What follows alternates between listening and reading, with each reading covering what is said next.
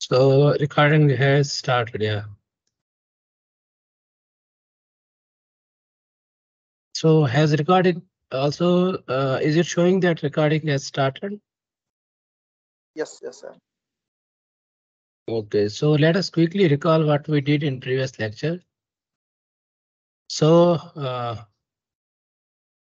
in previous lecture, we uh, defined a problem where we had a rigid body and um, the position of a point on a rigid body was given. Uh, um, no, the position of a reference point on a rigid body was given and the orientation of the rigid body that is theta with respect to the base frame was given.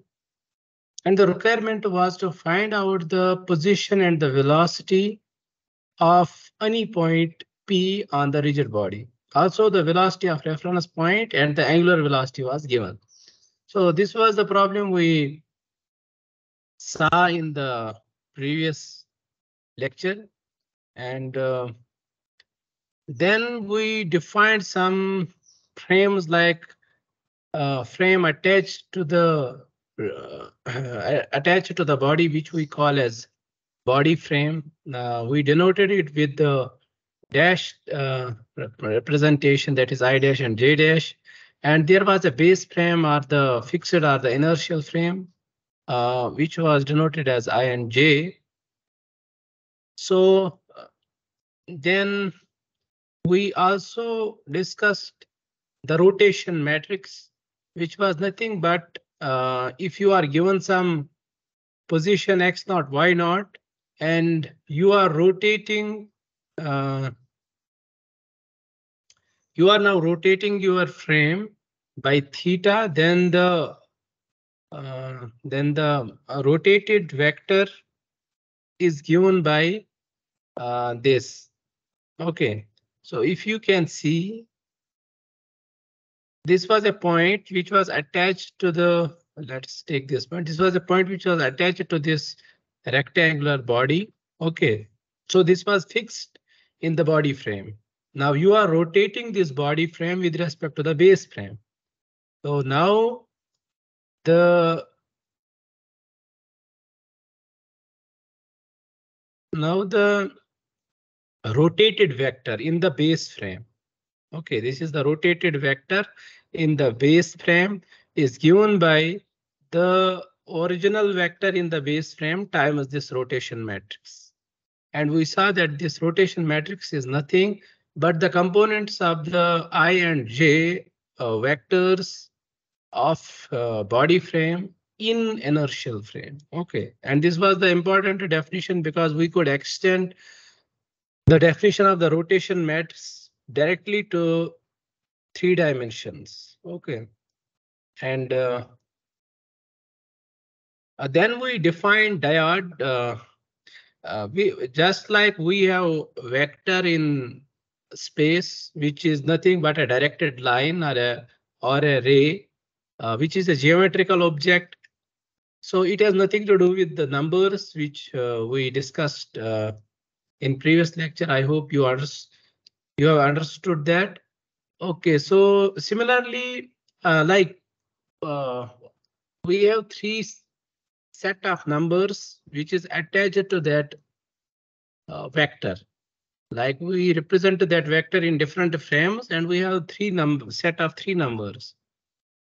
But similarly, we have set of uh, nine numbers which we call as matrix. But we can attach a mathematical object which will have which will be represented by set of nine numbers in a particular frame. But uh, in general, it will have nothing to do with the with uh, with the set of numbers that is this set of nine numbers. So this um, geometrical object which we don't know what is the shape. Some uh, people have given the interpretation in 2D uh, or the three or 3D, but uh, let us stick to the mathematical definition of this object uh, because when we will be dealing with higher dimensions, then it becomes troublesome. So basically you always have a habit of uh, uh, visualizing the things in 3D, but when you go to higher dimensions, there is no such visualization and then it pinches your uh, head. Okay, so that is why we will stick to the mathematical definition of this object. So if we have vector A and B, which we know these are the directed lines, then stacking the, these two objects together such that when they operate on third vector, when we take the dot product uh, of this uh, object, mathematical object, which we call as dyad, when we take the dot product with some vector C, it operates like this. So if we take AB uh, dot dotted with C, so it operates like this. A dot, sorry, sorry. Uh, so I think uh, something is missing here. Okay, I think I have taken this. Uh,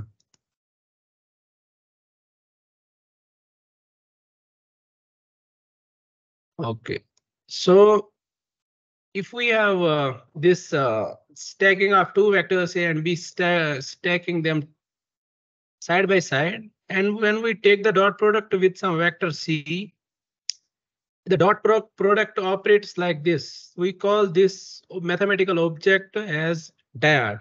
And see, both of these are vectors, which has nothing to do with the frames.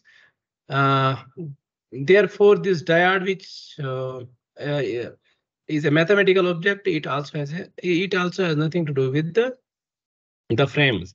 The first uh, kind of dyad uh, which you saw was a rotation uh, was, was, was a dyad which was associated with the rotation. And we defined this dyad as this I uh, prime I plus J prime J, but this I prime and J prime are the unit vectors of uh, new rotated frame. Okay, and this I and J are the original frame. Then we saw that if we take the dot product of this I with this um, we get I dash. That is this magical uh, object which we call as uh, uh, which we call as a uh, rotation tensor or rotation rotational dyad. Uh, if you take the dot product of i, it gives you the rotated i, that is i dash. In general, if you dot any vector with this rotation, it will give you the rotated form of that vector. Okay. So similarly, R uh, dot J will give you J dot. Similarly, R dot RPO O naught, which is the original vector, will give you the RP RPO uh, dash. Okay.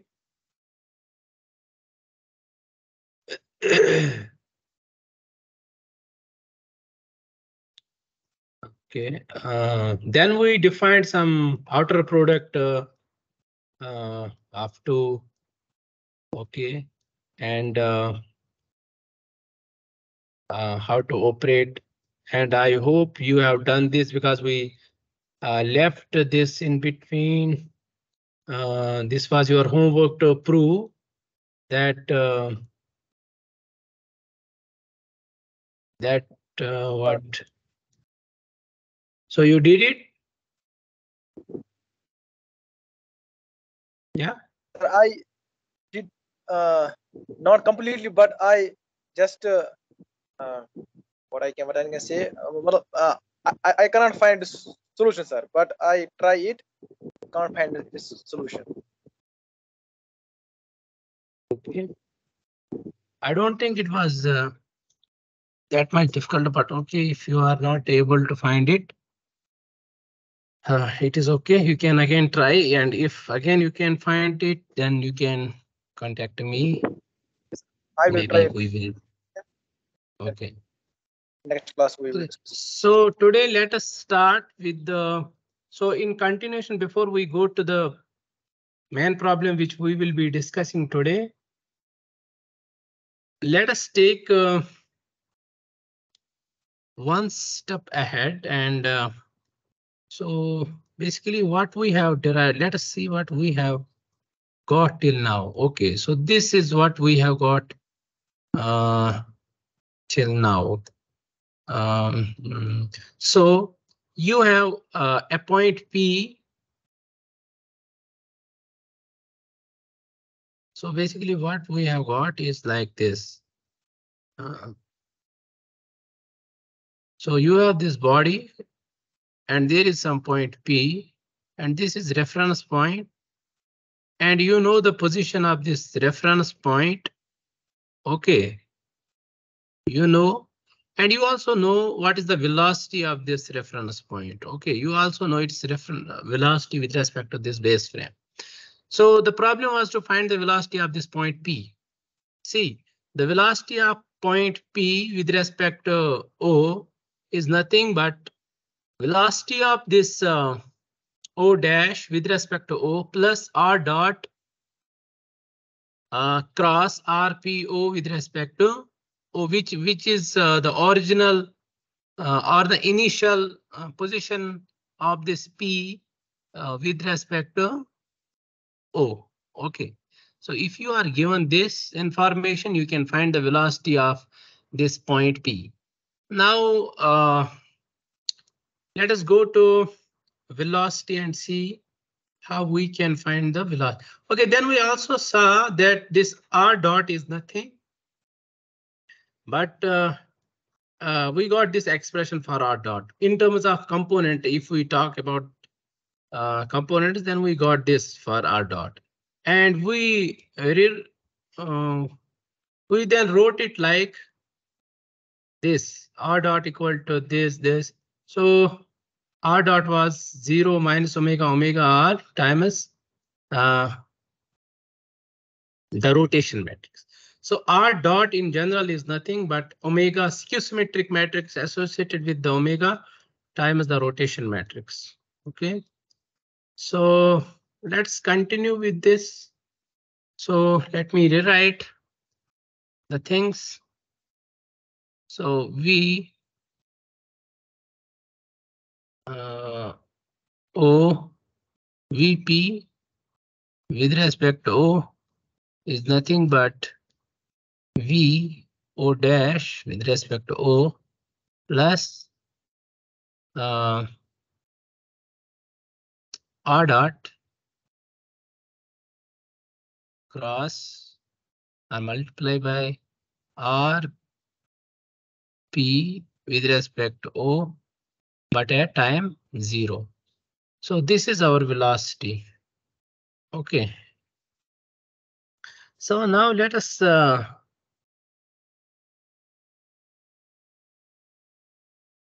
go ahead and derive an expression for uh, for the acceleration. That is, if we have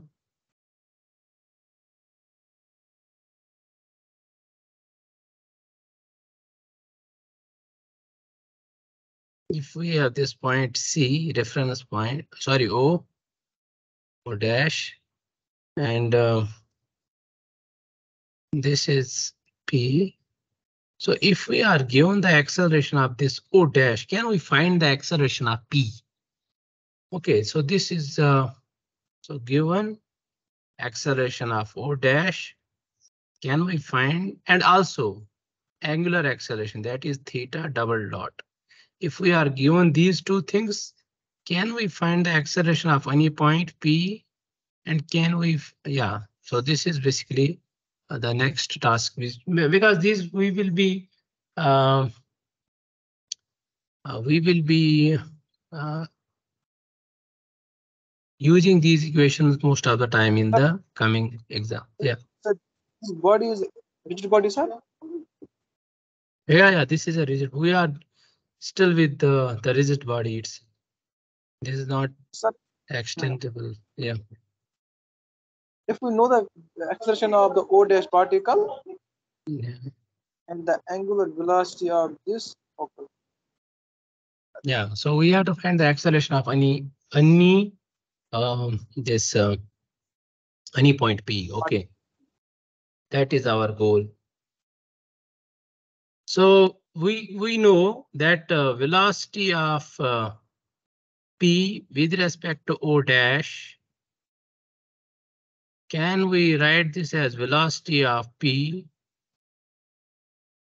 minus velocity of o dash? This is from the def definition of the uh, relative velocity, isn't it? Yes, sir. Yes. Okay, taking double derivative, taking derivative of this thing, we can write VP O dash is equal to VP dot minus VO dash. No, this is not, uh, yeah. okay. So is this okay? Yes, sir. Yes, sir. V dot P minus V dot A. Okay, so what is this? It is an acceleration.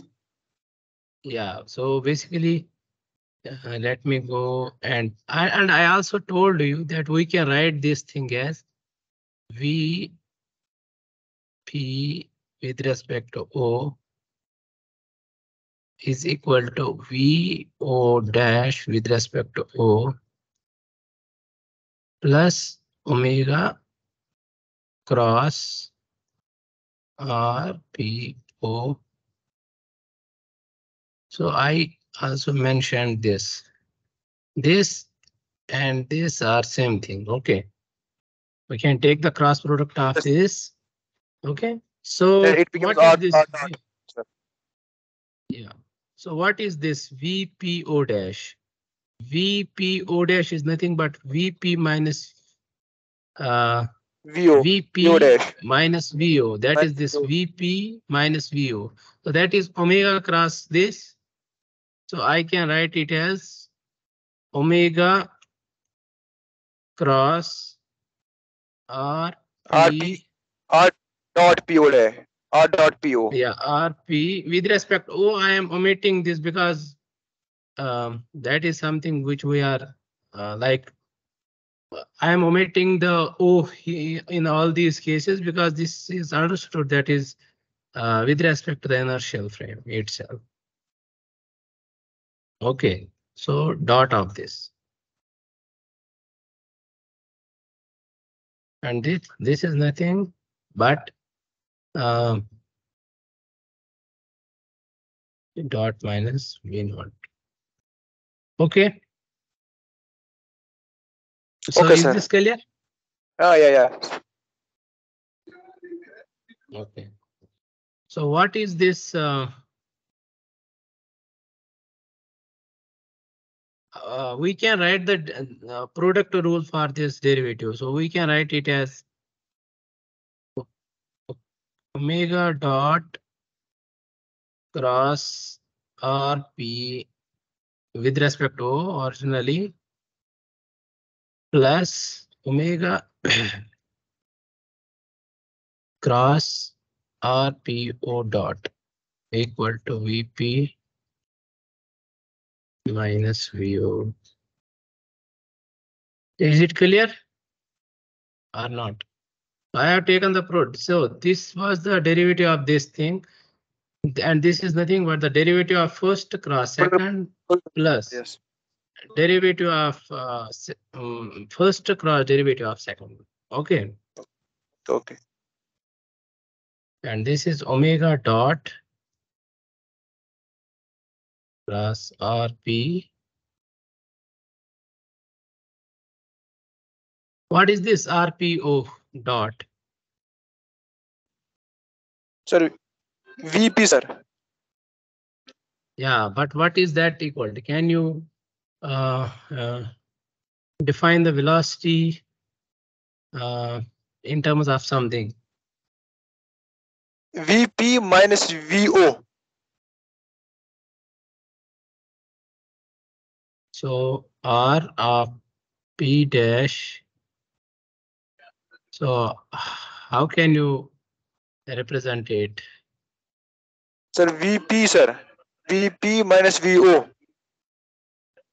VP minus VO. Yeah, but that we have already done that. I am not saying uh, uh, that. I am saying that this is nothing but uh, VP O dash itself. But how was VP O dash represented? Can you see from this? So VP, uh, Okay. VP. VO dash. So this can be represented as omega cross RPO. Yes, sir. Yes, sir. VO dash to omega Yeah. cross RPO dash. so omega cross RP. Okay. And this is equal to VP. And so we got this VP dot, which is the acceleration of P point, is nothing but V naught dot, that is the acceleration of the reference point, plus omega cross omega cross RP point uh, plus omega dot cross RP. So this is this is the thing which we were saying. So let us go back to this figure. So we were given the acceleration of this point. We need to find the acceleration of this. So this equation is saying that acceleration of this point is nothing but the acceleration of this point. Okay. Acceleration of uh, VP dot is nothing but the acceleration of uh, V VO dash. This is VO dash. Huh?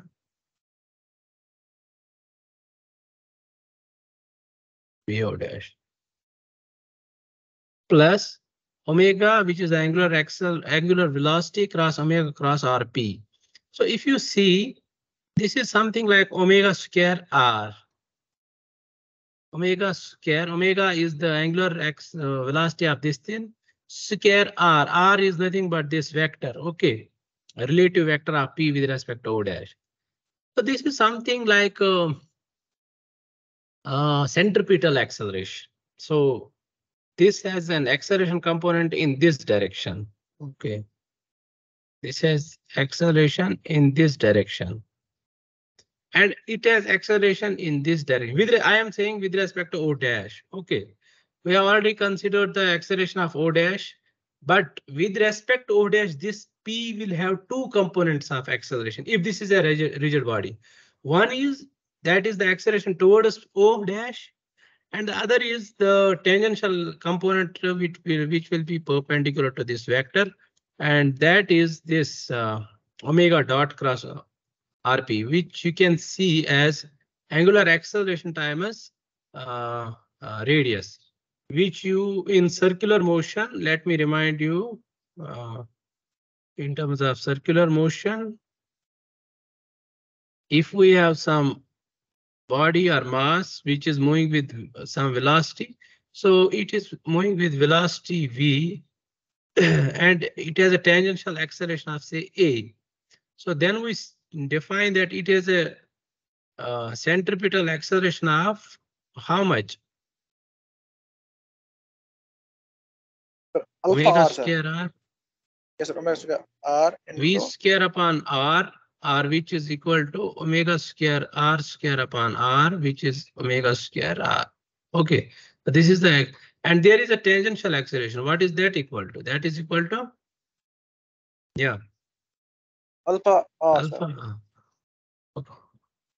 So this is this these are the two components. So basically what you are doing you are uh, saying that acceleration of P is nothing but the acceleration of O dash plus there are other two components. One is uh, relative to this O dash in the in this direction and the other one is perpendicular. So these are the two equations which I like was thinking you should know before we go to the uh, to before we go to, to today's uh, this uh, talk. So in today's uh, lecture we will be discussing what is known as uh, Chaplygin-Sleigh.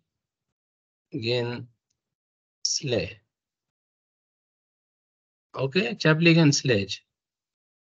So What it is basically it is basically a non holonomic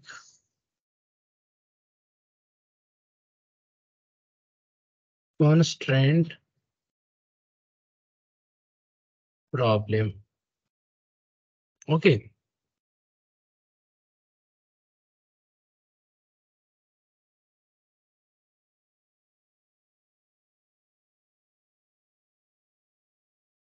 It is a non-holonomic constant problem.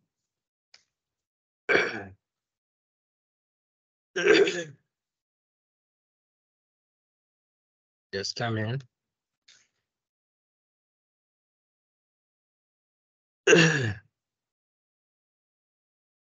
So what do I mean by non-holonomic constant? So let me take this uh, example. Let us say this is hinge and we are attaching a link. Okay, we are attaching a link. Let us disconnect this. So basically, initially, how before joining these two, how it would have looked like? It would have looked like this. This point will be some O dash point, which is on link. And this is some O point, which is attached to hinge. So is this uh, clear? O dash and O point, because these will be very Yeah, yes. important. So O is something which O is dash. attached to the attached to the hinge and O dash is uh, another point which is attached to the link. So when we join these two uh, parts, then there is a constraint on the motion of link. No, link cannot move as uh, it wishes. Here it can move anywhere as it likes, but here it has a constraint. And what is the constraint? Constraint is that position of O Is equal to is position of O dash. to Position of O dash.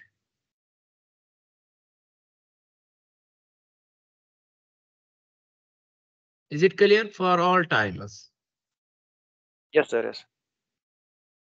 And when I am saying for all timers, uh, I hope uh, that uh, hinge is uh, enough strong uh, that it uh, bears the load of the uh, this uh, Link. link. Link. And link itself is uh, enough strong that it does not tear up while holding its own load. These are few assumptions which we uh, take. Okay, so the position and by this, you can also there say that velocity of O is equal to velocity of O dash. In O this dash. case is zero. Similarly, acceleration of O and acceleration of O dash for all times is equal to zero. Is it is it clear? Yes, sir. Yes, sir. Okay, so basically the con- constraint on the velocity is directly reflected in constraint as the position. Similarly, you can have a constraint like this. Let us define a path, a tube like this, and let us take this as x-axis and this as y-axis. So there is a ball which exactly fits inside this.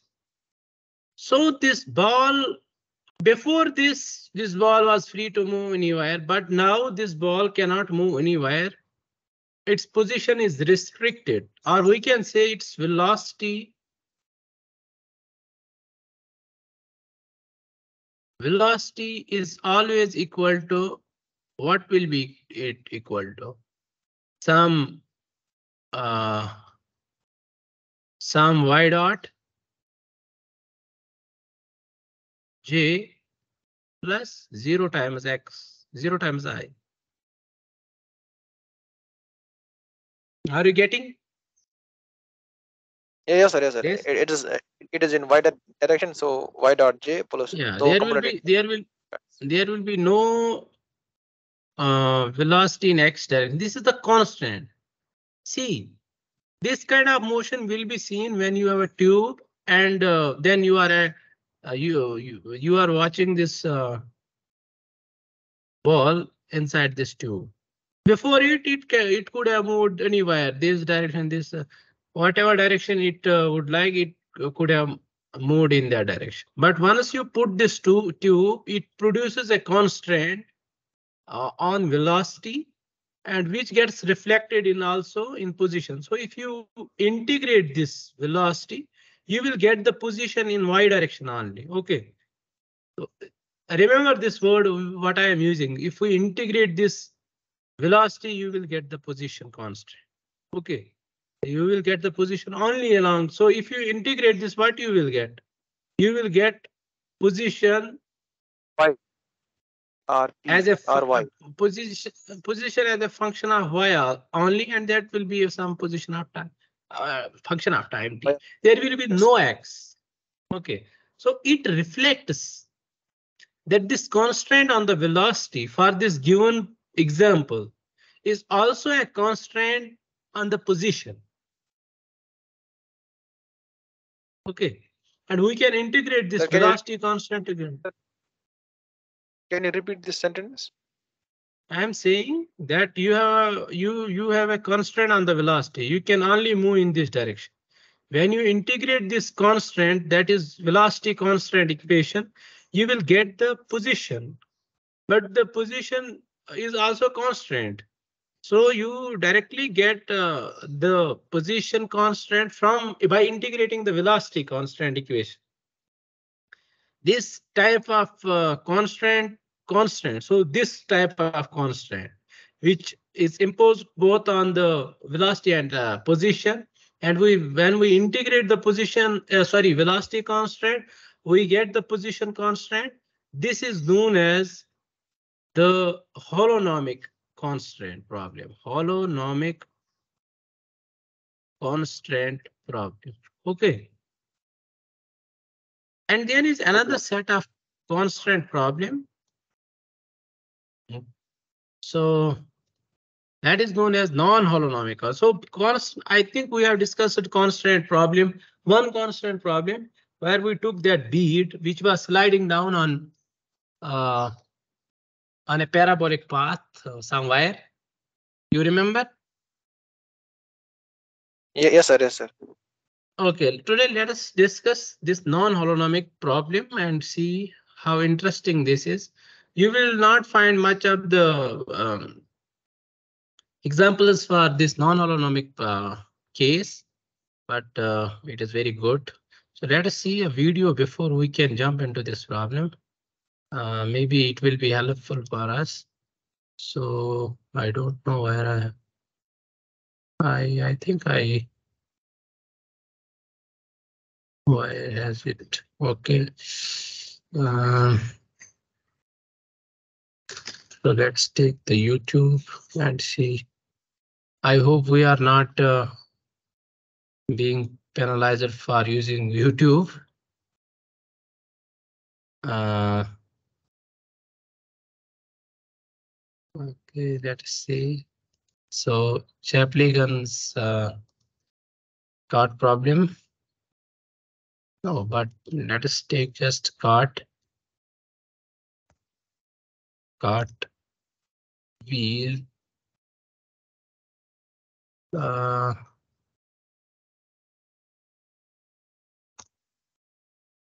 eh,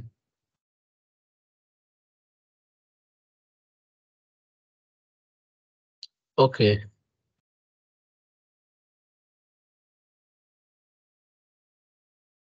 Why are not using the prem premium?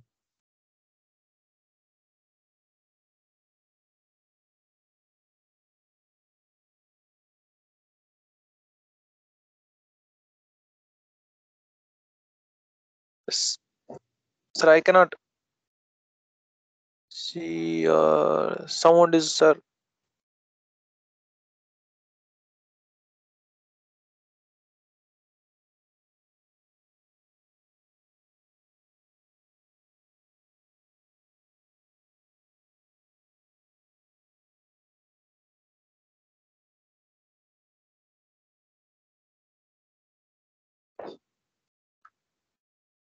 Hello, sir. Hello.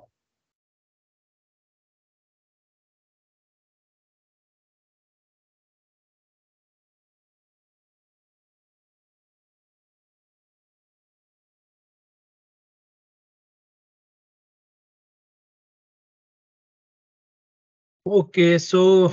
uh, uh, So did you saw this video? Sir, I saw, but Hello? there was no sound, sir. Sound, no background sound was Okay, there. sound was not important. Okay. Sound was not important thing, but uh, you saw the video. So basically, Yes, it uh, it is the like uh, movement of the cart which we use, uh, which we see in malls. Um, for carrying our those loads and for carrying our items which we buy, and also uh, at uh, airport you can see those carts which carry our bags extra. So the wheels are very important. How you design the wheels of the cart are very important. So I hope you will get the insight. What do I mean by that? When we will solve this Chaplygin uh, skate problem. So let us continue.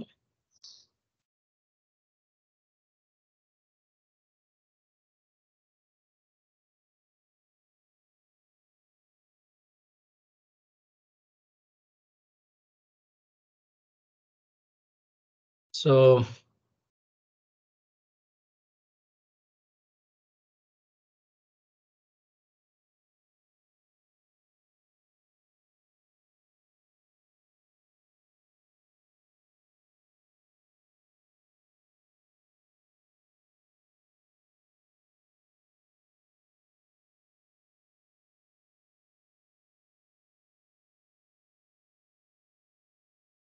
So this is a skate. Uh, uh, by skate, I mean that, uh, and this is the center of mass for, of this skate. So what do I mean by this? This C represents a wheel.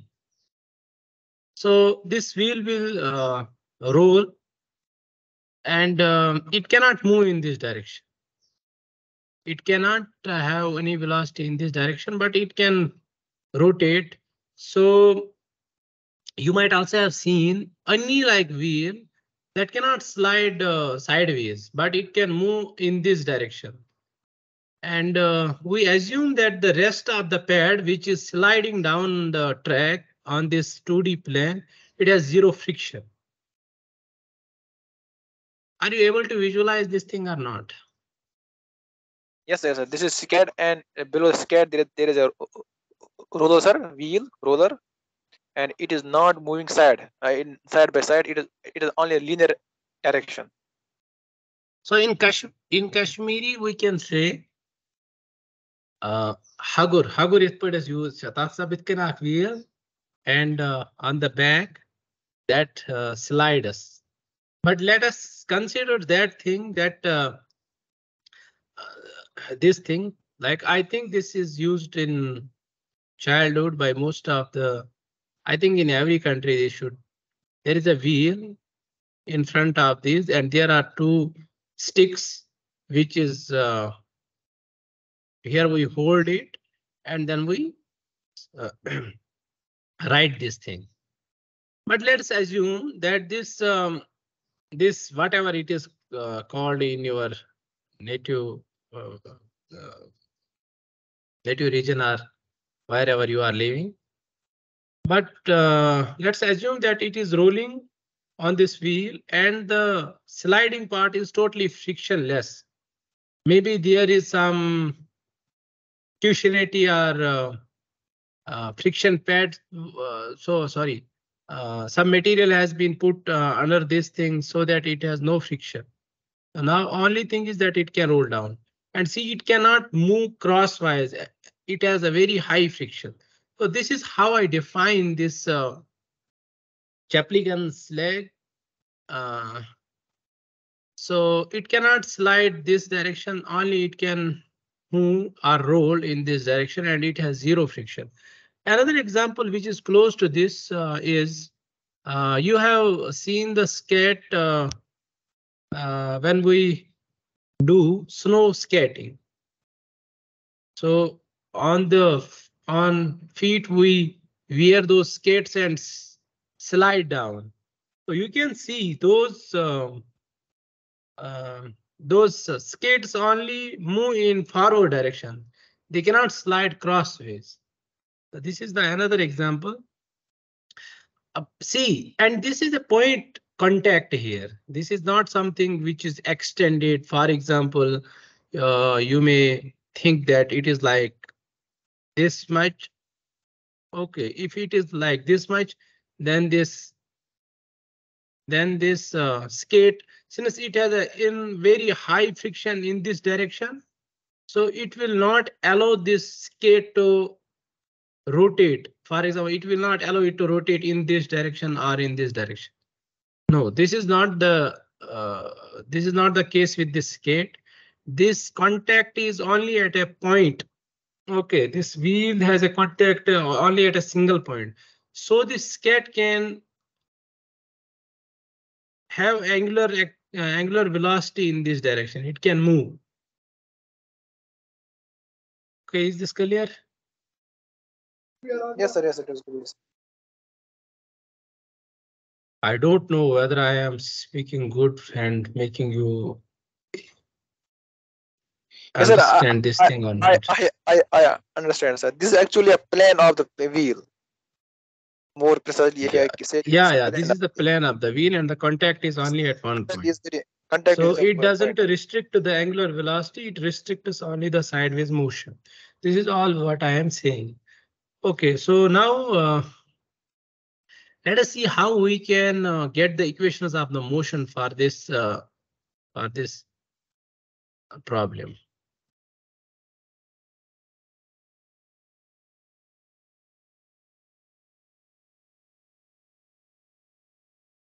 So let us take this uh,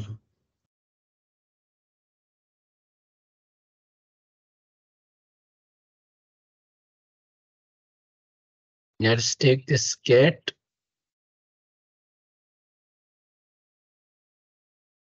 and this is the center of mass. This is k. And uh, let us take this direction and let us call this as lambda cap. And let us take this direction, which is perpendicular to this lambda and call it as n, which is nothing but normal. And this uh, line makes theta angle. It makes theta angle with the x-axis. This is I and this is G. Okay. Sir, what we are finding, yeah, yeah, this is good question. we are trying to find out the equation of motion for this rigid body. By equation of motion, we mean, for example, we may be uh, concerned with what is the position of the center of mass, how this body moves with time, given some initial velocity and initial condition, how this mm, this will evolve with time. The position and the velocity will evolve with time. Okay. Is it okay, okay. clear or it doesn't make any sense? Or your question was different? Yes, Your question was different?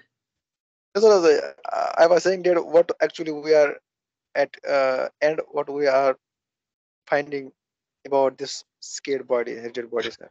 Acceleration or what? Yeah, uh, yeah, yeah. So what I am trying to say is uh, that we have a- we have this problem, and uh, the thing is that there is a constraint on this uh, on this point. This point cannot move in this direction. At every time, this point has to move in this direction. Okay.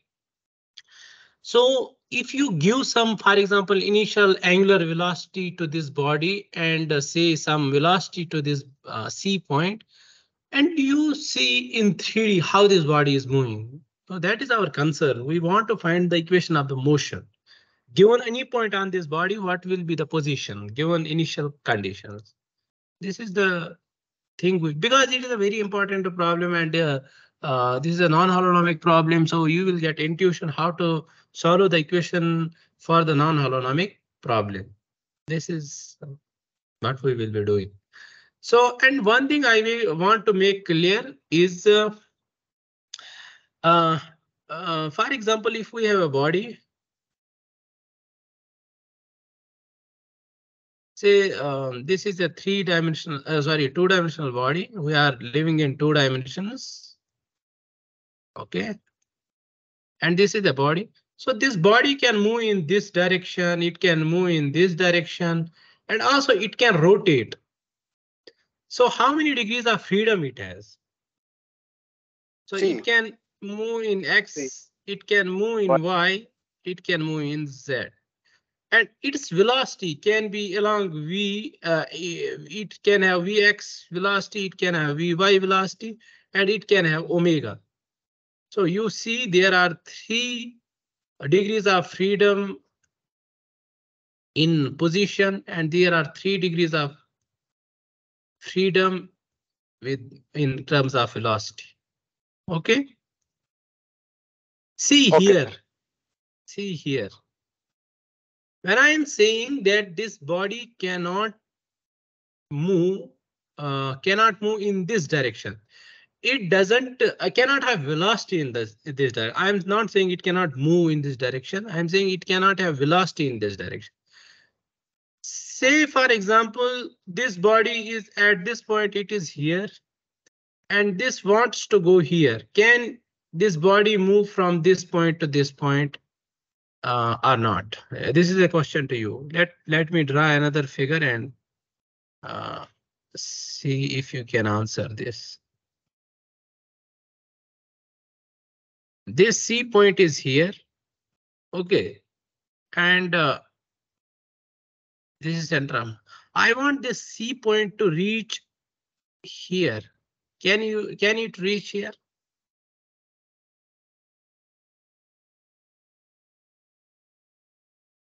Uh, Have you seen that my battery is running low? yes, sir. Yes, sir. Your battery is running low. You are might want to plug in your EC PC. So it means that oh, screen is, uh, it is running, it is working good.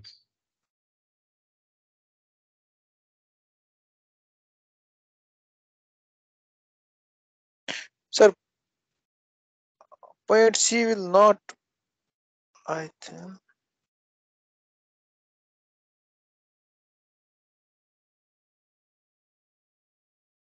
Hello, Yeah, yeah, I am listening. sir. Uh, point C will not go at uh, let at that point be P, sir. But Huh? we can find a uh, velocity or acceleration at this new point by using the previous concept, sir.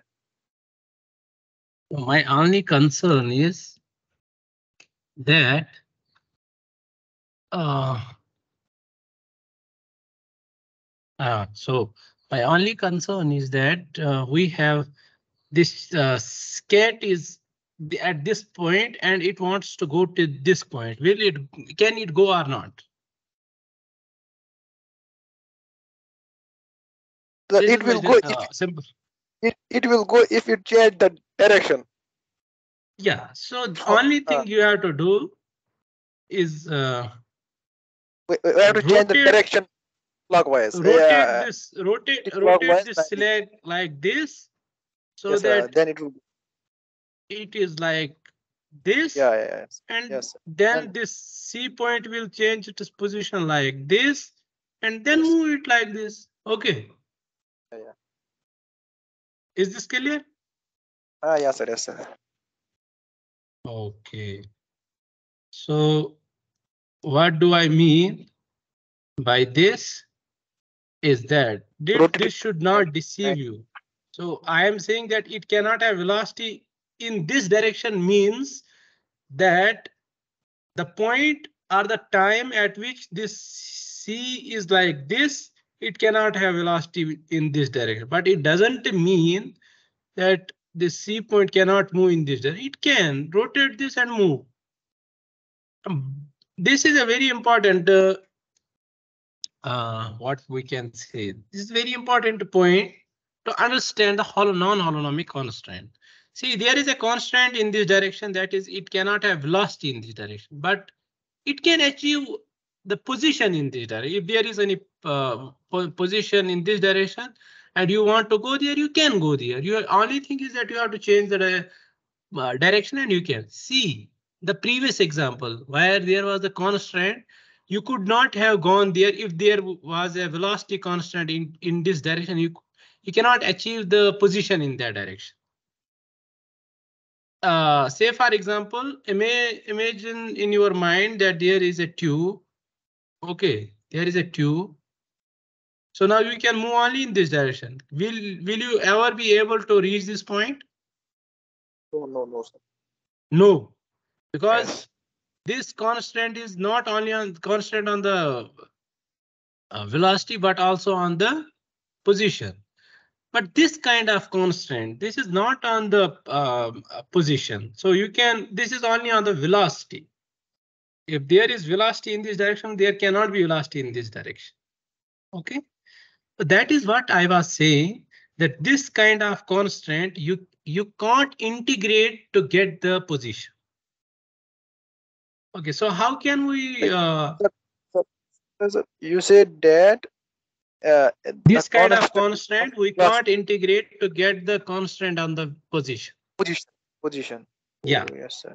Why? Why, sir? So this is the nature of the non-holonomic. That is what I was trying to understand you. This is the nature of the non-holonomic uh, constant. See, yeah, there is a velocity constant in this direction, which says that you cannot have velocity in this direction. If you integrate that, that will mean that you cannot have position in this direction, but we have position in this direction. We can achieve the position. Okay. Yeah, yes, sir. Yes, sir. Okay, so uh, let us see how many degrees of freedom this uh, have.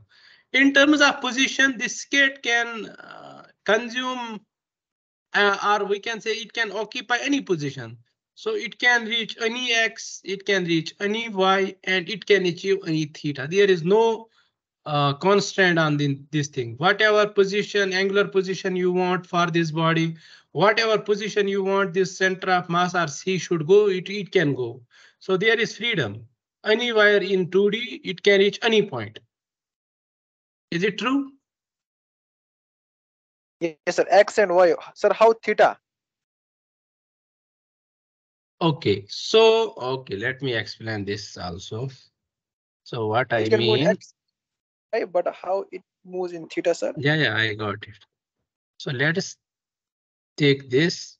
Uh, say, for example, initially, this is the skate's position. This is the center. So you want your skate to any point, say this x comma y point. OK. So you rotate this and go this and you will reach here. OK.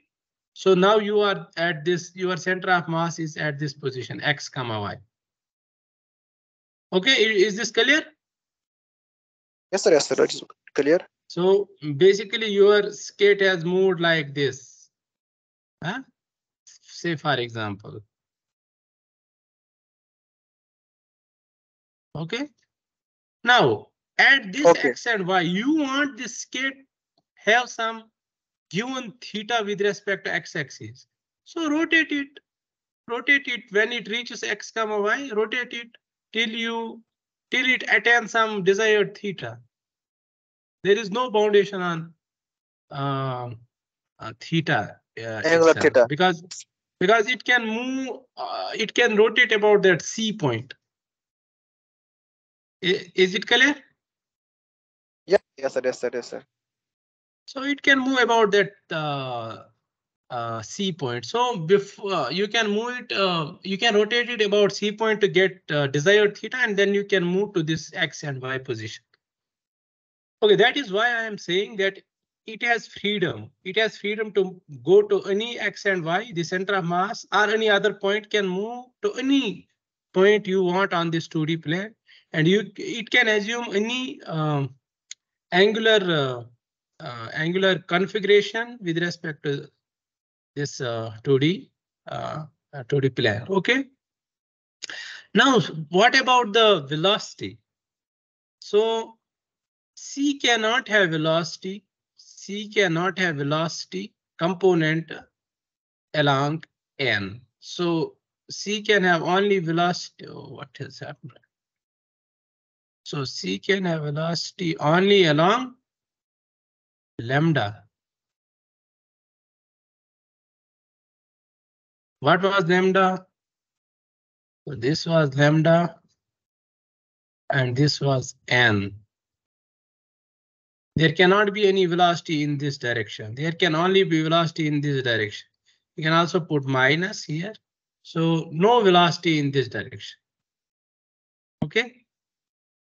So what But I was saying, so yeah, Minus. Why minus? Yeah. what? Why minus? Minus. Minus. Minus. It is not important. If you consider VC as the magnitude of velocity, so VC will always be positive. Okay. And uh, I am taking velocity of this point in this direction, but lambda is in this direction. So the velocity of this point is in negative direction of lambda. See, lambda I am lambda I have defined a vector, a unit vector from C to G, while the velocity of C is in this direction. Therefore, I am writing it as minus times some magnitude of velocity times this lambda. Okay, Okay. or, or not clear? Uh, is it clear or not? Okay. Okay, sir. Okay, Point C is So- opposite to the lambda. where? Point C is moving opposite to the lambda cap. Lambda. If it is moving opposite to the lambda, then this is minus VC. If it is moving in in direction of lambda, lambda- then it is VC times lambda. Okay, we will rewrite this equation in more uh, good form where we don't need this thing. So, uh, and it can have any angular velocity. There is no constraint on the angular velocity. So there is there it can assume any angular velocity. So how many freedom of uh, velocity it have? It have two degrees of uh, freedom for velocity. It can have velocity along uh, lambda and it can have any angular velocity. So two degrees of freedom for velocity and three degrees of freedom for position. Okay, three degrees of for position. Oh, see, there is a difference in the degrees of freedom of position uh, with respect to the degrees of freedom of velocity. It is obvious that if you integrate this thing, you will not, you, you will be imposing uh, uh, constant on position. So if you integrate a velocity which has two degrees of freedom, you will get, uh, uh, we will get position which has two degrees of freedom, but which is not true. This, this body has three degrees of uh, freedom in, in terms of position. So this is why I was saying that uh, uh, this constraint is not integrable. You cannot integrate this constraint to get the constraint on position. Okay, so how Sir- can we write? yeah Can we uh, take a compo? Cannot we take a component of v along x and y direction? Yeah, we And- can take. So so Yeah. when it when when we can take the component of v along x and y direction, thus it has a it has two components along x and along y. So when we integrate Yeah. this, so we get x uh, uh, x position and y position. Thus it has three uh, three degree of freedom. Nice question. Let me explain. Okay, let me explain. So a boy is moving on a straight line. What kind of motion this is? Linear motion. Yeah, is it one dimensional, two dimensional? What kind of? One- One day. One day. Okay. So you are saying this is one dimensional motion, okay? Because you can take I or X axis and you can represent this uh, position of boy just as some x of t. Okay, this is the position of boy. But someone comes and tells you that this boy is moving on a straight line. Okay, but I, I am taking x-axis in this direction and y-axis in this direction. So at every point, this boy will have two components, one along x-axis and y, one along y-axis. Will it have? Yes, sir. Why not? position of position will be some xi plus yj. So Yes, is sir. this a two-dimensional motion or one-dimensional? Two dimensional. So how can you solve this riddle or the problem? it depends on the PEM. No, no, no, no. It doesn't. See, the nature of the pro This is why I am saying uh, you should understand the vectors. Vectors are not just someone is looking from a different window. It will not change the person which is inside the room. Okay. okay, sir. Someone is uh, seeing me from door and someone is seeing me from the window. I am same person. Maybe different. Uh, they are looking me different. They are looking my different parts from different positions. But I myself will remain constant and invariant uh, with respect to those like they are seeing. That doesn't change me, my uh, structure or anything else because I am a geometrical body. Similarly, you should also remember that the nature of the problem doesn't change when you change the frame. If it is a one-dimensional problem, it will remain one-dimensional. It cannot become two-dimensional just because you are seeing from different perspective. But you have to see how this is a one-dimensional problem. See, in this second problem, uh, if you go to this second problem, this x and y are not independent.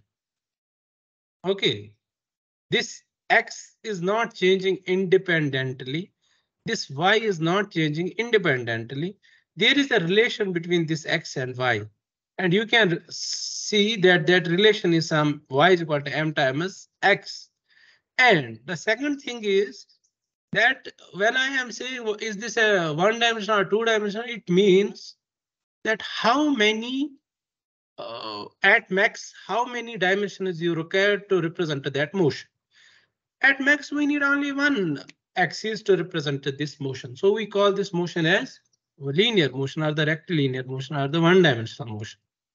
Similarly here, when you are saying that um, I will, uh, okay, so I was saying that this is that skate C point and uh, it has a velocity in this direction, uh, which is lambda direction. So I can represent the velocity of C just some uh, constant times lambda. And so it has no uh, velocity in this n direction.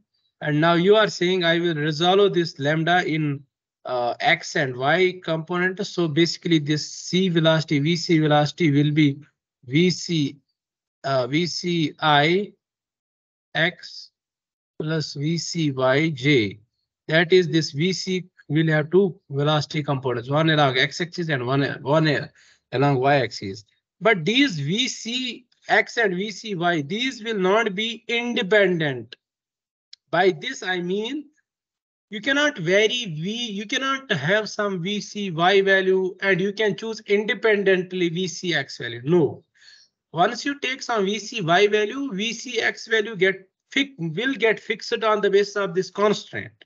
So basically, these are just one degrees. Of, but when I am saying degree of freedom, so there should be freedom in choosing one value or the other value. With there should be no dependence. See the uh, degrees of freedom in the position. I was saying that it can move to x, any x, then it can move to any y. This is how I de define uh, the degree of freedom in uh, position. If it were like uh, I am moving to any x and uh, the y is getting fixed, then it doesn't mean it has two degrees of freedom. Although it is attaining different values of y, but those y are actually determined by the values of x. So you are not uh, having freedom of changing x and y value independently. In that case, we can say that the position has not two degrees of freedom, but has just one degree of freedom. Similarly, here the Vx and Vy, these are not independent. You cannot choose them independently. Uh, you have only one degree of freedom in terms of velocity, yeah, like in this VC and VY. And you have angular uh, velocity freedom. Is it clear or not? It's clear, but sir, can you little bit now define a 2D motion, sir, so that I can uh, get uh, clear visualization Okay, I I told you that um, 2D motion. Okay, where is this? So 2D motion we can define it. We can define 2D motion as uh, motion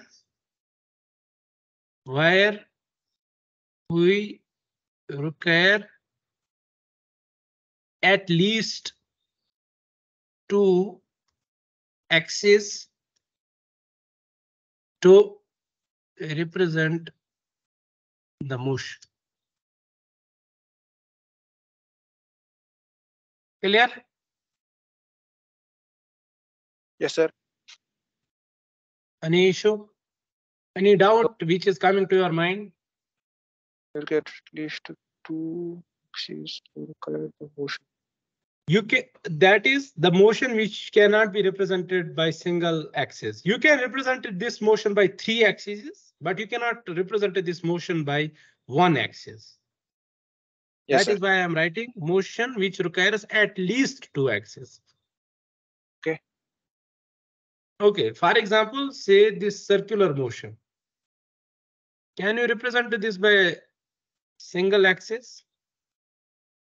And No. I am saying the rectilinear, uh, uh, sorry, this Cartesian axis, that is the straight axis. Maybe you can uh, say, yeah, I can represent this by a single axis. And what is that axis? That is something which is uh, uh, uh, the circumference of this uh, circle.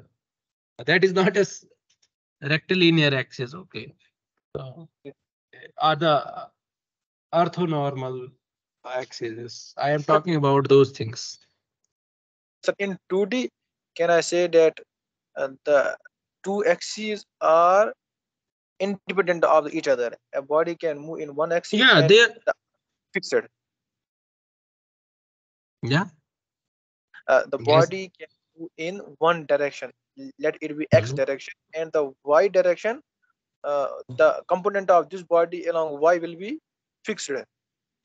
And if it is moving in y direction, x can be fixed. But in one DD, in one D, the uh, uh, the the position along x, if it changes, it will definitely change uh, accordingly in, the, in y direction.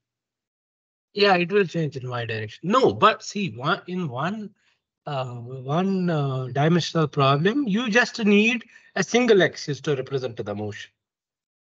If you are uh, uh, like uh, representing it in two axes, you are just uh, wasting one axis. You could have represented the motion in just single axis, but you are uselessly using the more axes to represent this motion. Okay, okay, sir. Got it. Okay, so let us continue uh, with this problem and uh, see how can we write this constraint here, okay? Uh, so this is our skate or the Chaplygin skate, whatever you call this.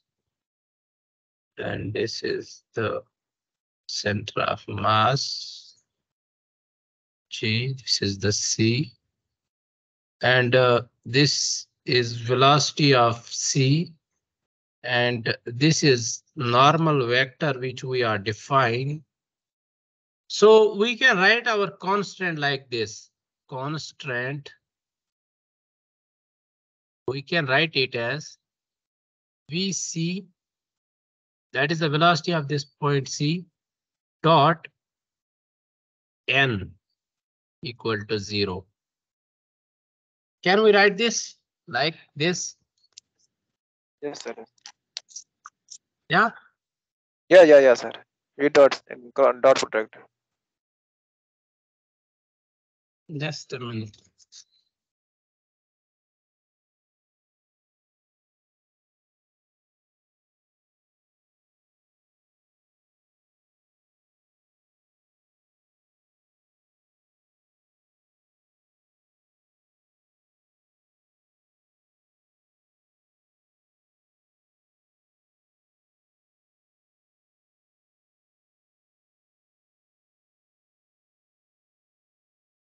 Okay. So I was saying that, uh, okay, so we are given this, uh, we are given this uh, constraint. So you can say that we want um, the position constant, so we will just integrate this thing. We will just integrate this constant and get the and get the uh, position, but you you can't do this because this is a uh, this is a non-holonomic constraint. Okay. You can't do- uh, this. And uh, one thing I just missed that I didn't wear earphone. I think uh, the quality of this would have decreased due to that. No, thing, no, the quality. Is my audio clear? It's- It is clear, crystal clear. Okay, then it is fine. Okay, so we we we can't do this. Uh, so how will we solve? So let us go and see. So first thing is we will write linear momentum balance equation. So what uh, linear momentum balance equation says? Summation of all external forces is nothing First of all, but action point. is L dot. L dot. Okay. Sir, Okay, so we don't, uh, okay, so then, uh, since there is no, uh, no velocity in this direction, obviously then there is some constant force being applied by this constant in this normal direction. Let's take that normal force uh, as n. So basically we have, and this is the only force which is uh, acting on this, okay? So we can call this as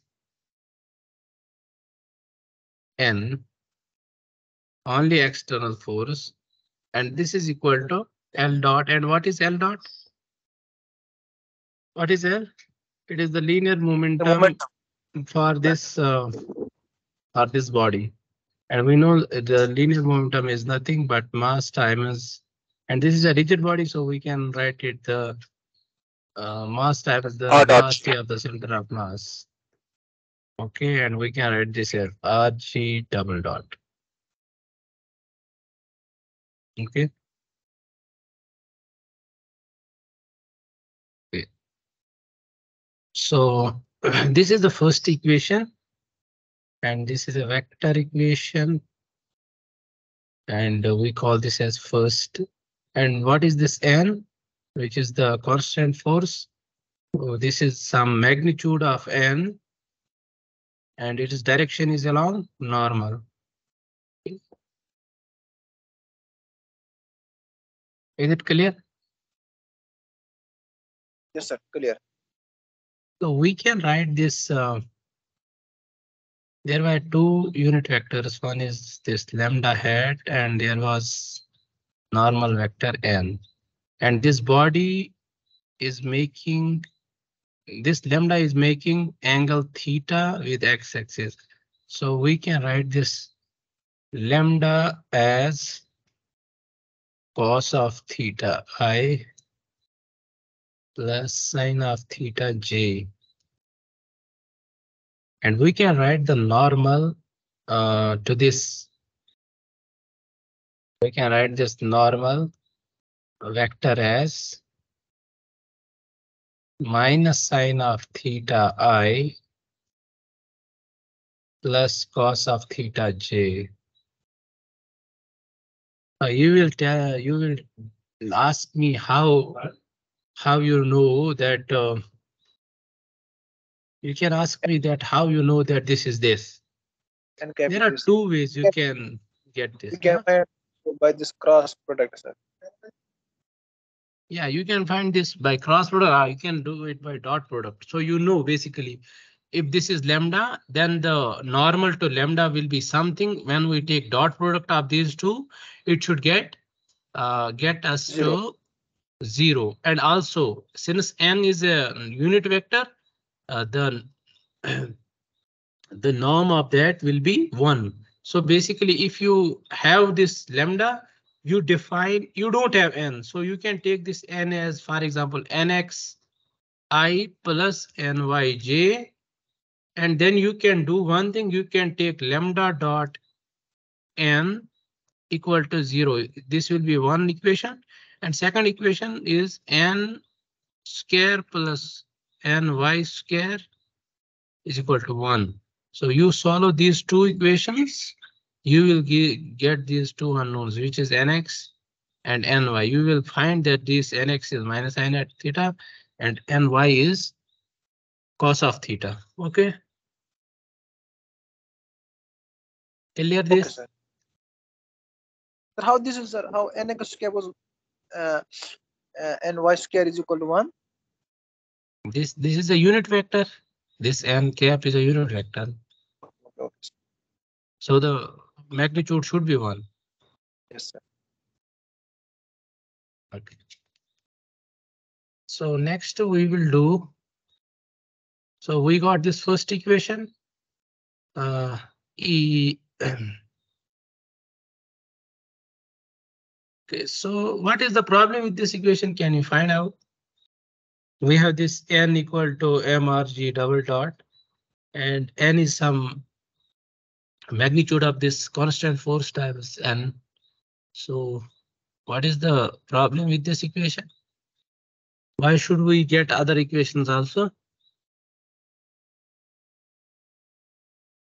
Sir, we have three unknowns, sir. Which, which are the unknowns? Uh, first one is sir n Yeah, mod of n. Then sir, it is uh, rg R, G, yeah. and the n cap. N cap is not unknown, it is known, see from this. That's why sorry, it is unknown, sir. L M R G. One is N. And these are not one, these are two. Oh, oh, sorry, V and this, sir. Huh? So this is Uh. basically XG and YG. Asha, okay, okay, okay. Okay. Just a, wait a minute. I don't know. Are you getting on this or should I clear? No? Okay, so. So basically these are two unknowns and one is n. So we have three unknowns here and just we have one equation. So this is not sufficient to solve these three is for these three unknowns. So we need two more equations. For that, what should we do?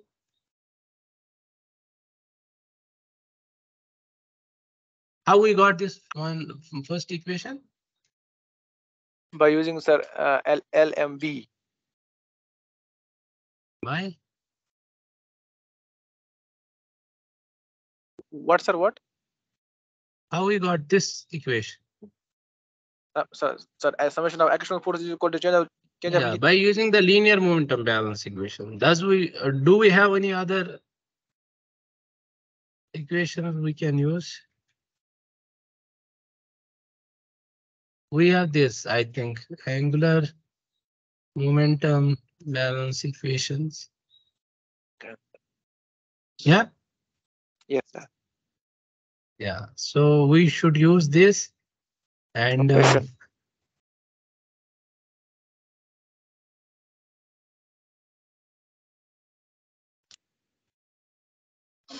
See, we have been doing this for so long time.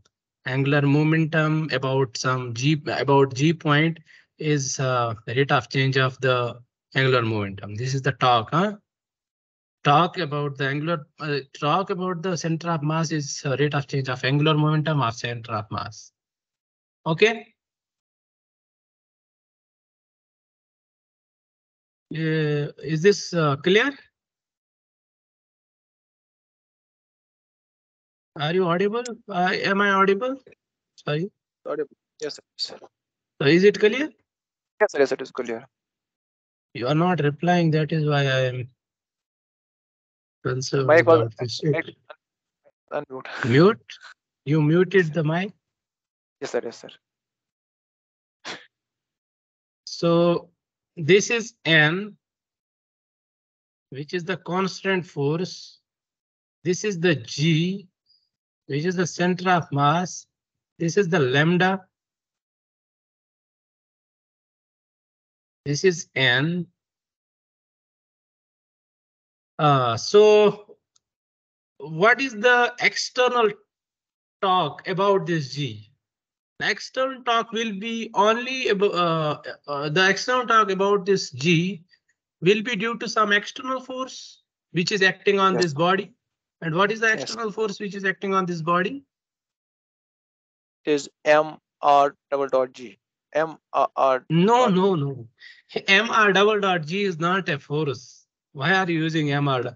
Who told you that MR double dot is a L force? sorry, sorry, L dot, L dot, sorry, L dot. L dot is not a force. Try to understand. These are, see, L dot, R double dot, these are something which are kinematic in nature. And we are equating these things with some force. These are not force. You should never tell that R double dot is force, L dot is uh, torque. These are not torques. Torques are something different and we are equating them to these things to get those things. So here the torque is due to this external force and external force here is only N. And this N force is acting at this point C. And due to this force, it is creating a torque about this point G. And let's take Yes, that the yes. distance between this C and G is D. Let's call this distance as D. Okay. So uh, what is this torque? This is nothing but uh, force. N dot D. Sorry, R cross D. Okay, so what is the position of uh, this C? So we, we, we will write position of C with Cross respect to G cross N. This will be the torque of this torque. N external force with respect to the G. Okay, so this is this is equal to uh, what is this H with respect to G dot? The Angular momentum. Yeah, so what what is it equal to? We know this is angular momentum, but what is it equal to? Yeah, tell.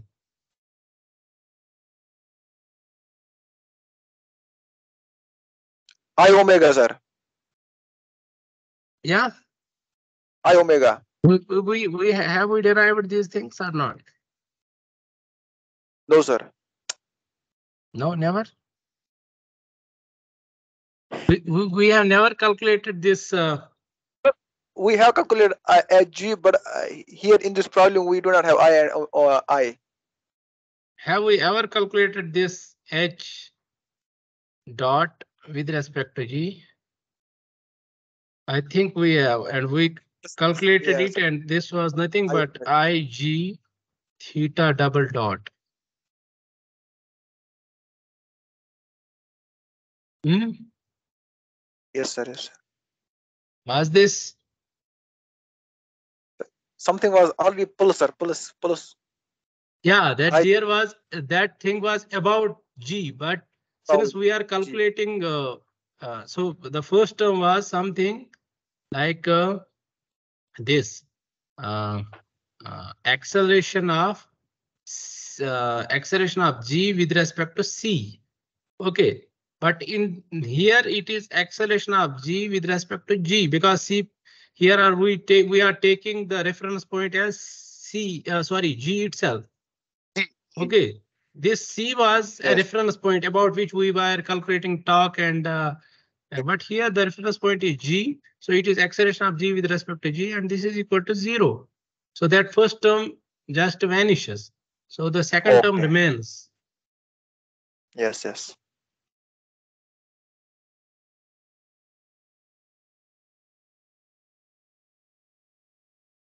So this is I uh, omega dot.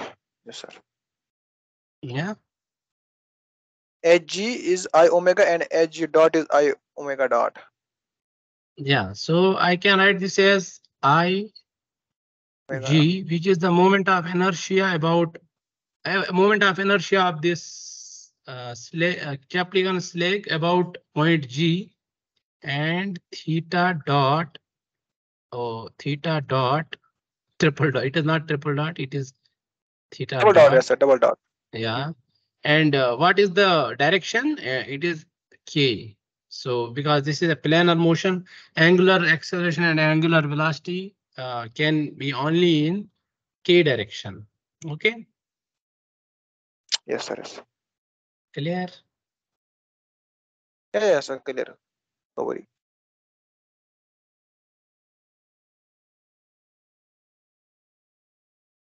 Sir, how much time it will take uh, onward, sir? I think we should finish it by uh, ten forty-five to ten fifty, maybe. Okay, okay. Okay. Will that be okay? Yeah, yeah, sir. Sir. Okay, okay. Okay, Um, so. Uh. Now this is a vector equation. We can take the dot product of this equation. Okay. We can take the dot product of this equation with respect to. K. Take dot product of this equation. With K. So what we will get? We will get RCG. And also let us do one thing. Uh, or can we do it in next? Okay, let's do it in next. So RC with respect to G cross N dotted with K is equal to IG theta double dot K dot K K is one. Okay. So what is this RCG? This is nothing but D times lambda. Uh, no, no, no, it is not d times lambda, it is minus d times lambda. Because what is RCG? RCG is this vector, a vector from G to C. That is a magnitude of d, but that has a direction opposite to lambda. Is it clear? Position of this C with respect to G. It is a vector from G to yes, C. From G to C. Okay, G and C, the, yes, the, the magnitude of that Direction is from- d and direction is minus D and lambda, so it is minus d lambda Okay. cross Yes.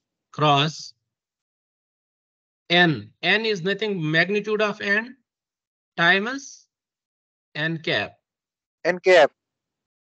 dotted with k is equal to ig theta double dot. Okay. So minus d. Uh, what is this lambda d n? What is this lambda cross n? Sir, Can you tell me what is, huh? K. K. K, K- yeah. Okay. Yeah, so lambda cross n is nothing but k. So this is k, And it is a one K dot. k. one. It is one.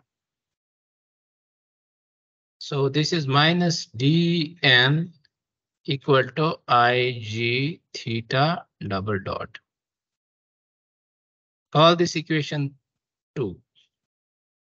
Okay, Yes, sir. so Equation. it now. also says that our equations are consistent because we are getting scalars on both sides. If it were like we are getting vector on one side and scalar on a- uh, another side, then, then we were making some mistake.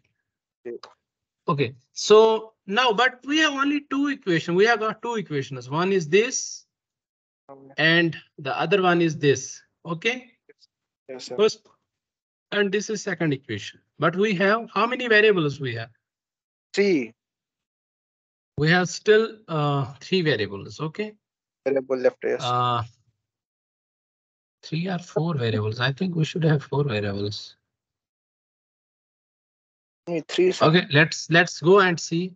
So we need more equations, okay? I think I theta double dot is also a variable. That is why I'm saying. Okay. Yes. Okay, let's uh, continue and see what will happen. So uh, uh, we need more equations, okay? Yes. At least we we need two equations more. Yes. So uh, how, how we will get those equations? We will use constraint uh, Const- uh, equation. Constraint. What is Constraint. constraint? Constraint is this. Isn't it? Yes.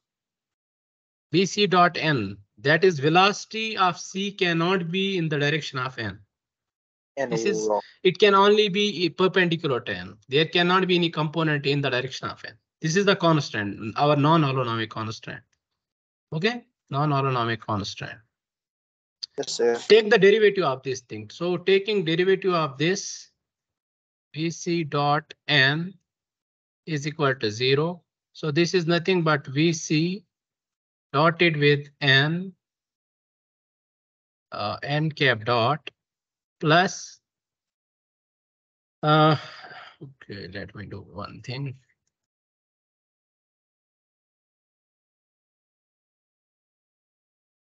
Yeah, so uh, this is first VC dot dot n cap plus VC dot n cap equal to zero. Is it clear? Yeah, Yeah, yeah, sir. It is clear. okay, so what is VC? VC is nothing but velocity of G plus omega cross om- om- omega R- square. CG. This is the, we, we, have derived this, that if uh, two points C and G belong to the same rigid body, then we can represent the velocity of C as velocity of G plus omega cross uh, relative position of C with respect to G. Okay? This is for rigid body. And uh, we can write this as VG plus, we can write this theta as theta dot in the direction of k cross we can write this as rcg is nothing but minus d times lambda okay? Is it clear? I hope Yes. everything is clear. Uh, wherever it needs some clarification i give or you may also ask ask me to give. So this is minus theta dot d times n. Okay so this is vc and uh, we can further write it as Vg minus theta dot d n. n can we write it as sine theta i plus cos theta j. Okay, Yes, is it okay? yes, sir. Yes. So uh, we can write Vc theta dot Vc now. Uh, so basically, I am rewriting this thing. So Vc uh, mm, Vc dot dot n plus Vc plus n. So Vc I have written like this, and Vc dot I will write as Vc dot. I can write it as VG dot minus uh how can I write it? Sir, uh, Minus d theta dot. Let, let me write and then then I will uh, ask you uh, uh, for like clarification or something else. Minus theta dot d. Okay. Uh, uh, just wait a minute. I have written something, but I don't know what I have written. Sir, here we we apply we, we, we- have to apply UV rule, sir. Theta and sine Yeah. theta. Eh, No, no, no. I just want to use that equation which we have. Uh, let, let me rub it and do it. I have not done it here, but let me do it for you. Maybe it will otherwise create some confusion. Uh, okay, so uh, we have to find VC dot. That is the acceleration of point C. We have just derived it. It is VG dot. Okay.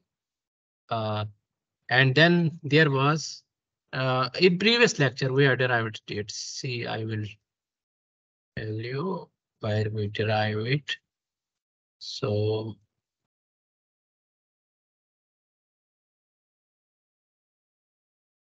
This is the thing which we derived. So let me copy this thing. Uh,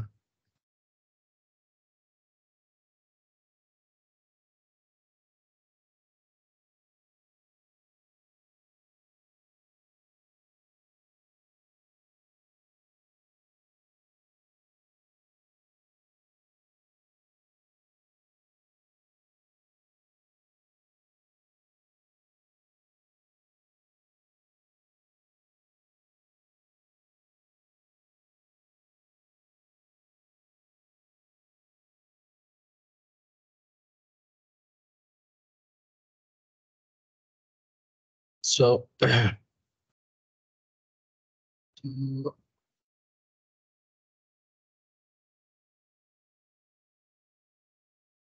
So using this thing, that is if we have a point P and O dash on some rigid body, we can write the uh, acceleration of P as this. So similarly, we can write this velocity of C as velocity of G, uh, sorry, acceleration of G plus omega cross omega cross RP of uh, R, uh, sorry, here it is C, so we can write it as RC with respect with respect to G plus omega dot uh, cross uh, RC with respect to G. Okay. So I will rub this now because we don't require this further. So let me rub this. Okay. So we have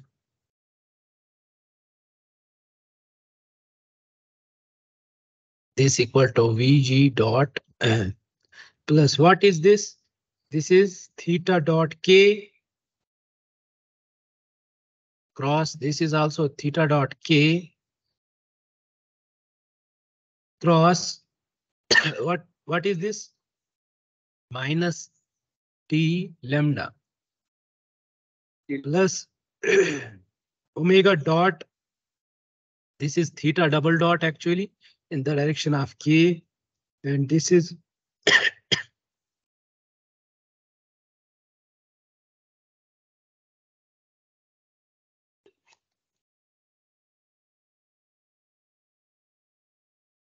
this is uh, minus d lambda.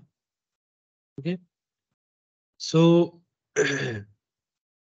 this is equal to Vg dot Vg dot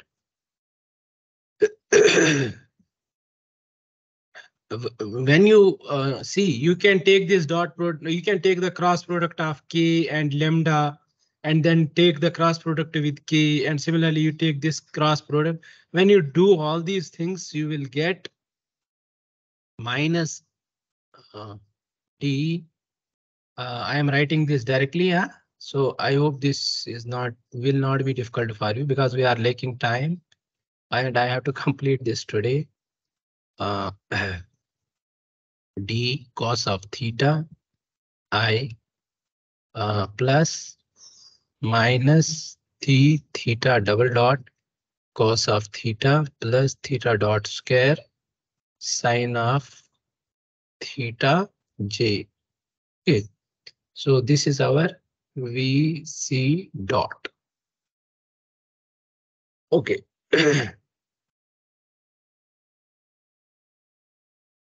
so we had derived a equation. What was our equation? Our equation is this.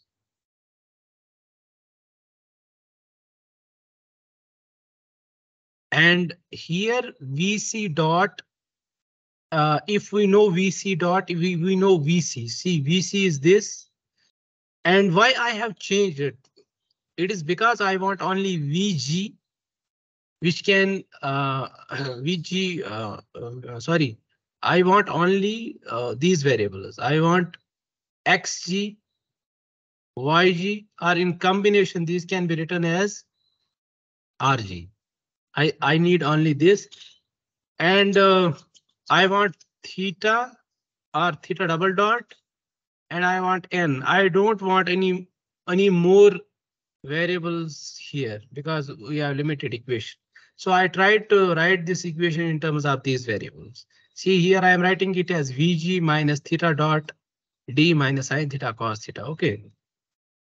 And similarly, I am writing Vc dot Vc dot as this, where this is Vg dot, and this Vg dot is nothing but it is x double dot and y double dot, which we know these are the variables we are looking for. OK, uh, we are looking for xg and yg double dot.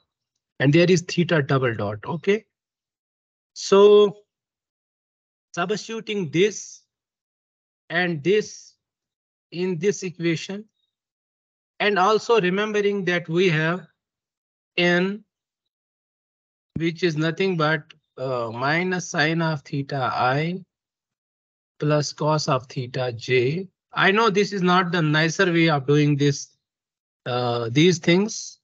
Uh, so we uh, there we, we can use MATLAB for this, but uh, since this is the first time you are doing it, so I want everything to do on pen and paper. Uh, theta dot cos theta i minus theta dot sine theta j. Okay, so this is n. You take it as derivative. It is derivative is nothing. Sine of theta. It will become cos of theta and theta dot. I is fixed, so it is derivative is zero. So we have i. And similarly, cos of theta is minus sine theta, theta dot, and this is j. So you put these three equations in this equation. In this, uh, where is this equation? uh, in this in this equation. So you will get what you will get is something like this, which I will write here. So uh,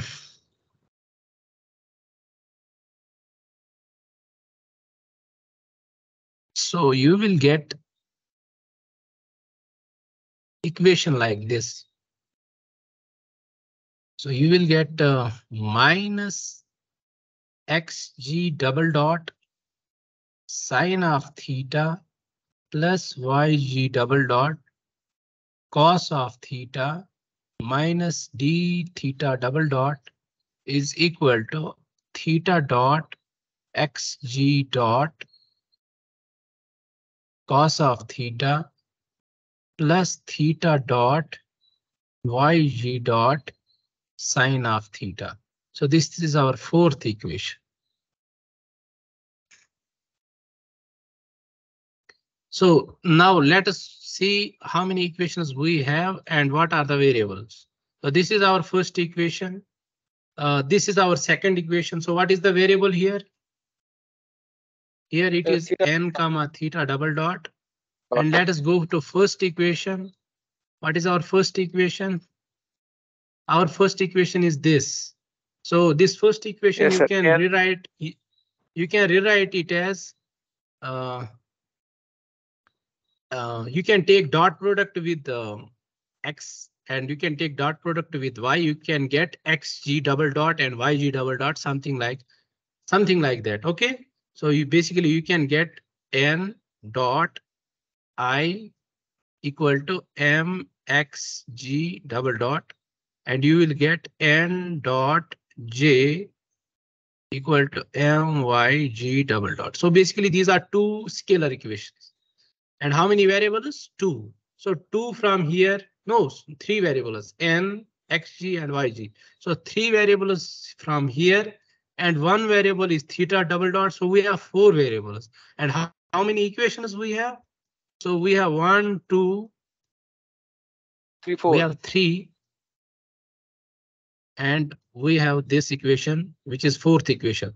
So you will rewrite these equations as, as we are doing pre in previous, as we have done in previous uh, um, uh, uh, previous lectures. So our variables are x g double dot and y, y g double dot and we have theta double dot and we have n. So you write these four, you rewrite these four equations uh, like this something times xg double dot plus something times yg double dot plus something times theta double dot plus n times equal to zero. You write every equation like this.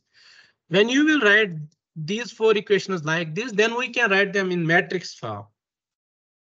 And when we write this those in matrix form, you will get, and this is your home problem, like please go and uh, see if this is correct or not. Just to, I have written everything, you have to rewrite these things in a nicer form so that you can write the, these equations in matrix form. So when you will write these in matrix form, you will get something like this m0 0 sine of theta 0 m 0 minus cos of theta and 0 0 i g d and uh, minus sine of theta cos of theta and minus d and 0. And this will be xg double dot, yg double dot. This will be theta double dot and this will be n. And this is equal to 0, 0, 0, uh, Zero. theta dot xg dot cos of theta plus theta dot yg dot sine of theta. Okay. Sir, So I have to yeah. write uh, in- Sir, I have to write these four uh, equations in terms of x, y, theta, and n. Then write in in, matrix form. yeah, see, see this equation. What is here uh, with xg? It is minus sine of theta, isn't it? So see minus sine of theta xg. What is with yg? Cos of theta. So cos of theta with yg double dot. What is with theta double dot? Minus d. See here it is minus d. What is with n? Nothing. So here it is 0 times n. Equal to what is on the right hand side? Theta double dot xg dot cos of theta. Theta double dot xg cos of theta. Eh, similarly, theta dot yg sine of theta. So this this last is representing this fourth equation. Similarly, if you multiply this row with this column, you will get third equation. If you write this and this, you will get second equation. If you write this and this, you will get first equation. Okay, uh, this is what I am saying. So this is fourth one. Um, this is your uh, third one. I will recall this. Uh, rewrite this as third one. This is not fourth one. As third, uh, third, uh, second one. This is third because second one is this. See, this is first and this is this is second.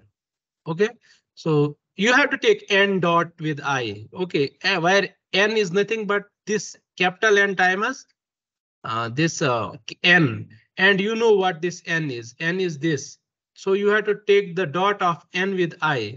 So just take dot of this with i, you will get first equation. Similarly, take dot of n with j, you will get second equation. Okay, so you get all the four equations, rewrite those equations and write those in the matrix form. And uh, you are done with this. So from this, you know everything. You have this A matrix, you have this B matrix, and you have this Z dot. We call this as Z dot matrix. So Z dot is nothing but uh, A modulo B. This is a MATLAB function which you can use. So you will get this Z dot. And um, when you are when you know Z dot, you just have to integrate it to get Z. But you have to give the initial conditions. Initial conditions. So by initial conditions, I mean you have to you have initially you have to initially know what is this xg, yg, and theta dot and yg dot and xg dot. Initially, you should know what is the velocity of your center of mass and what is the angular x angular velocity with you which you are starting with. If you give these things, then um, for all the timers, this matrix will give you the position in the future time. So this was our I know this was a little bit uh, uh, like uh, hectic for you, Who knows, I but uh, mm, there, I think you have learned uh, new thing, and I hope this is not something trivial. Uh, uh, solving a non-holonomic problem, and uh, I think this is the best way you can solve a non-holonomic problem. If you do it in the MATLAB, uh, if I get the time then I will show you how we can solve this in MATLAB. You don't have to do this much calculation and you know you can make a lot of mistakes uh, because you don't keep track of these um, amount of variables in your mind. Sometimes you get uh, some error or you miss something. So there is a nice and better way to do this in the MATLAB symbolic. Uh, sorry, symbolic. We use the symbolic uh, of MATLAB to do this. But I can show you if you have one or two minutes, I can show you the simulation and then we can. Uh, we are already done with this class. If you have time or otherwise, we can just uh, close for today. So it is up to you whether I should say whether I will show you simulation or not. It is only up to you. What do you want? How much time? How much time? Two minutes maybe. to- Okay. Two minutes, I think. So. mm, So uh, this is same problem, okay? You have done it, isn't it? You have done it Yeah. already. Yeah, It is done done already in MATLAB. yeah, yeah, I have already done it. in MATLAB, so just uh, I need to uh, make it in a way that you understand, okay? So basically, you, you can see that same things. So I'm defining the mass of it. I am defining the initial conditions for where is the initially where is the center of mass and what is the theta, like what is the initial theta of the body, how it is inclined, and what is the initial angular uh, velocity. These I am uh, uh, defining and uh, I am storing these uh, in this uh, Z naught and then I am using uh, uh, ode45 to solve it. And also the dynamics part, this is the function for dynamics part, which uh, I am using. And this is this A matrix, which I was saying, and this is B matrix, and this is Z dot. And I am integrating this Z dot to get uh, my XG and YG in the future time. OK, so let's run uh, this and uh, let's see how this moves. So see, this is this uh, this red is the uh, is the center of mass, and this black is the that C point. Okay, so this is how it moves. Okay. There are uh, very good results, but since we don't have time, okay, if we get some time um, in future, maybe uh, I don't know. But if we get time, so we can discuss the results. Otherwise, you can also simulate this thing and see by yourself how velocity is and other things change. One thing I can uh, say that uh, you see that the angular velocity tends to zero. This is the best mm, result of this uh, Chaplygin sleigh. No matter what kind of uh, initial angular velocity you give it, its uh, uh, angular speed will go to zero. So it will pick up the linear velocity. Linear velocity will increase and that will also saturate and its angular velocity will go on decreasing. Okay, this is a future. We can also discuss uh, uh, with the friction, but uh, maybe in some other time.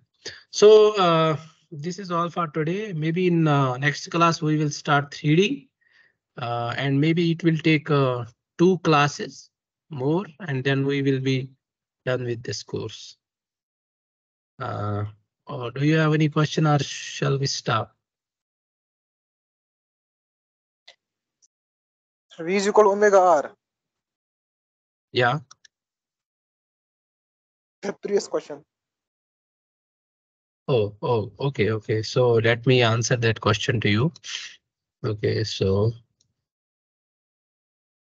So I was saying uh, uh, that uh, the question was that uh, uh, if we have a rigid body, okay, we have a rigid body and um, uh, this is uh, some P point and this is some uh, so so this is some J point and no no no let's call this as some P point and this as some Q point. So velocity of P with respect to Q is nothing but uh, omega associated with this uh, omega associated with this cross uh, position of P with respect to Q. Okay. So this is what we know about rigid body. But in your high school days, you might have seen that we have a point mass M and this is they call that it is rotating with omega. Isn't it? Am I speaking right or wrong?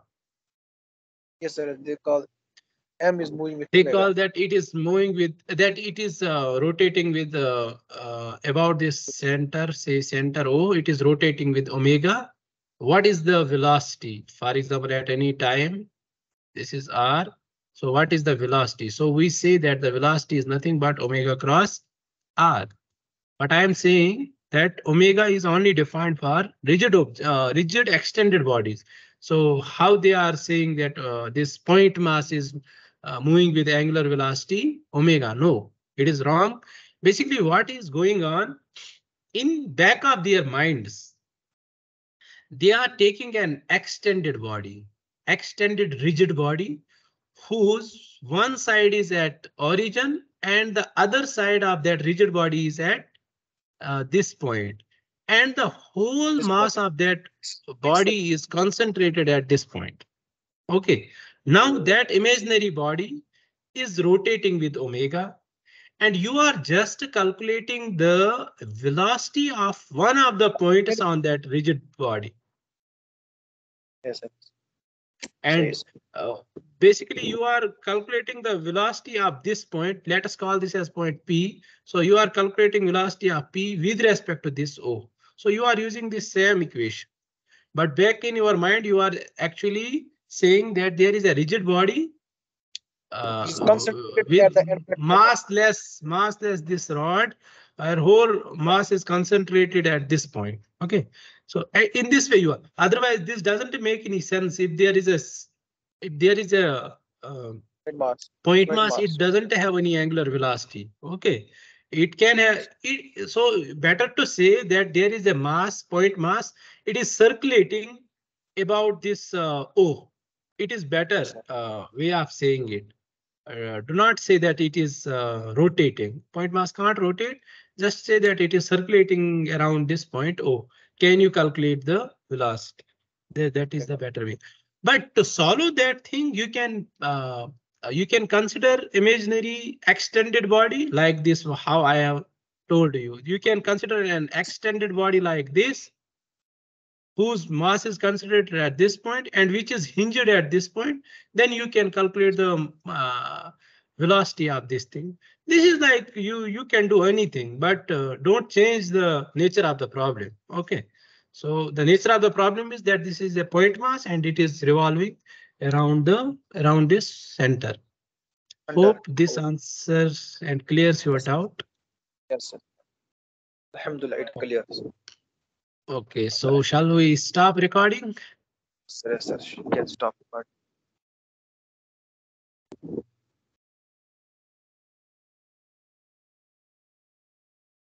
started recording, sir. Stop recording.